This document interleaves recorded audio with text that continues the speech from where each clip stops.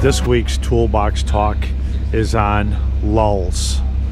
This is our immediate team for this fiscal year 2018 once again at our leading distributor where we rent all of our boom lifts and our scissors lifts and our lulls. This is actually called a telehandler and this team of Berglund personnel here have already seen three videos, have had some verbal instruction, have taken a test, and now they're going over the ground application of inspecting this piece of equipment.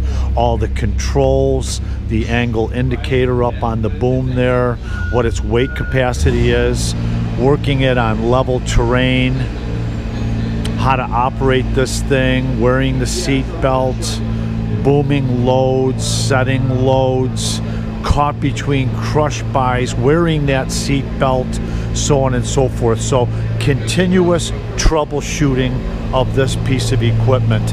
Now typically this would be in labor's job descriptions, but we do have tuck pointers and bricklayers operating these pieces of equipment on Berglund construction job sites.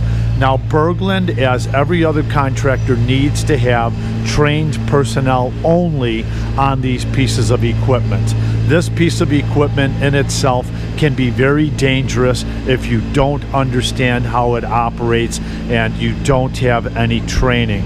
So once again, annually, Berglund offers this training for lulls and telehandlers along with all of this other type of equipment. And with this Berglund policy, anytime you're around vehicular traffic, you're going up and down street, maybe offloading flatbeds, Berglund's policy is to have a spotter at all times with this piece of equipment.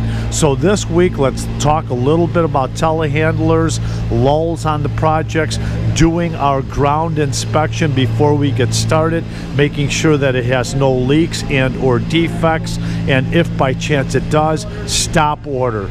Do not operate this thing, get it serviced prior to using it. Thank you and let's have a safe week.